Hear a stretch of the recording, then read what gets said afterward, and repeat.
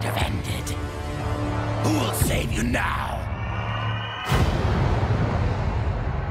What happens after we die?